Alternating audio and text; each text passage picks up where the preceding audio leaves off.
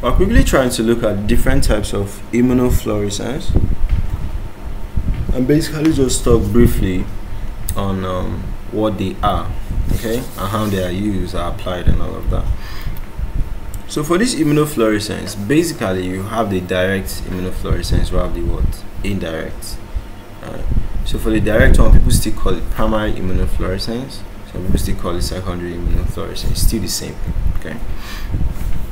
So immunofluorescence, first of all, in an overview, said that it's a powerful technique.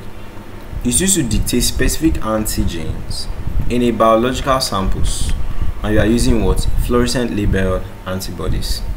So there are two main types of uh, immunofluorescence that we have: the primary and the secondary. Or the primary one is say direct, secondary say indirect. Okay.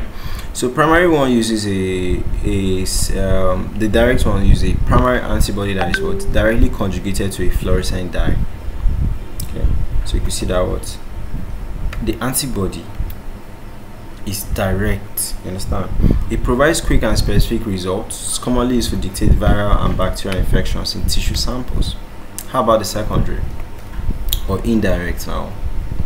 So the indirect one we say that you use an unlabeled primary antibody, it binds to the target antigen, followed by fluorescent labeled secondary antibody. So it's like what? You are attaching an antibody to another antibody before you bind it to the target uh, antigen, you understand? So it offers high sensitivity due to signal amplification. So whatever signal is dictated, usually increases the volume or stuff like that.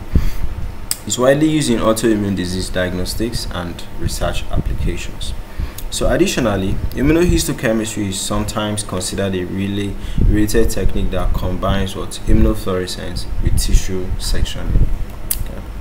So that's it for the types of immunofluorescence uh, that we have.